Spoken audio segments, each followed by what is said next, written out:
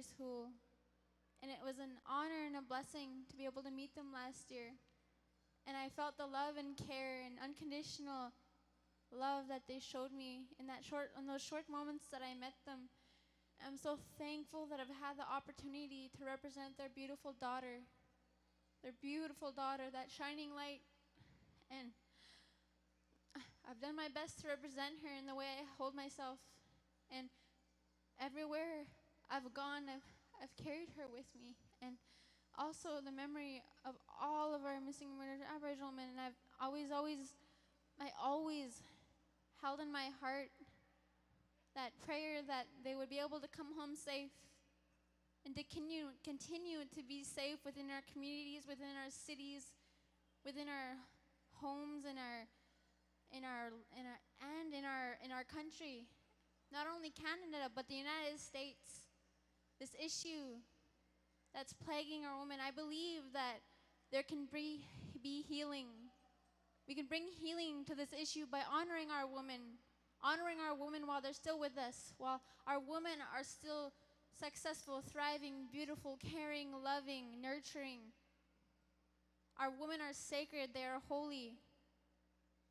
We are sacred, we are holy, and I see that in each and every one of you girls, and I'm so happy that you're all here running for this title because I see in you a successful young woman. No matter if you get the title or if you don't, I believe that each and every one of you can do great things, and I see that in each and every one of the teen girls and the junior girls and the women's and the adults and the golden age. I see beauty in our women. I see that. And it's a time of healing, and this is why I brought this special and also the conference that I put on yesterday. I wanted to bring healing for the fourth year. I wanted to bring in healing for Cherise and her family. And I hope that I've done a, a an okay job of that. And I thank you. I thank you from the bottom of my heart for your congratulations and for all of your support throughout this year, throughout these past couple months where I've been fundraising. I thank you for purchasing a blanket in support of the missing and murdered Aboriginal women. And I know that whoever it is that is crowned next, they're going to do a wonderful job. They're going to do great things. They're going to go great places because I was so thankful to, be, to have been blessed with all these opportunities that this title has brought me. And I'm so thankful for my role models and for the people that I look up to within, within my circle and within my family and those goals and dreams that I've had. I'm so thankful that they have encouraged me to keep going towards those. Such as this crown, my mother, last year, my mother, she encouraged me to run for this title because she was a past Miss Indian World in 1987. I really look up to her and I love her. And I'm so thankful that she has been here. I'm so thankful for my family that are here today. I'm so thankful for all of you who are here today. I'm so thankful that you're all here at this wonderful celebration of life. Here in the center of Turtle Island in Winnipeg, Manitoba, I'm so happy that we're all able to gather here. I salute the light within your eyes where the whole universe dwells. For when you are at that place within you and I'm at that place within me, we shall be as one. I see the light in your eyes that we as First Nations people are bright people.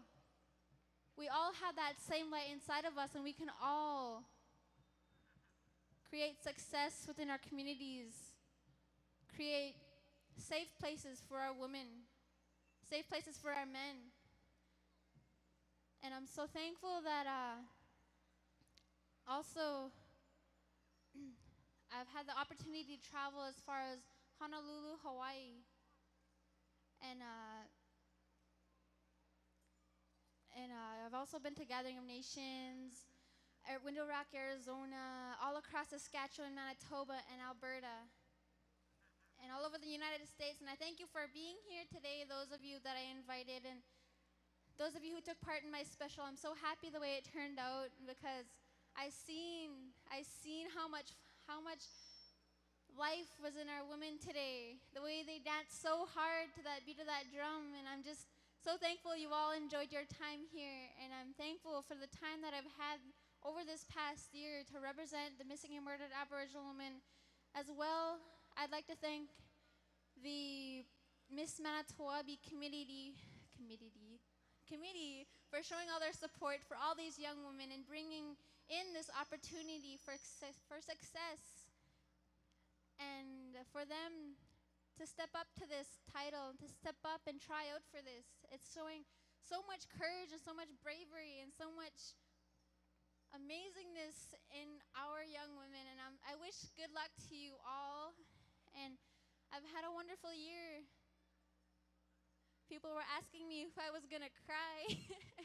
so, are you going to cry? I was like, I don't know yet, but I, I just don't know. I'm just so happy that this title is going to keep going, that this issue is going to be continued to be represented within Canada. And I wish you all a wonderful time here. Safe travels home. Thank you from the bottom of my heart.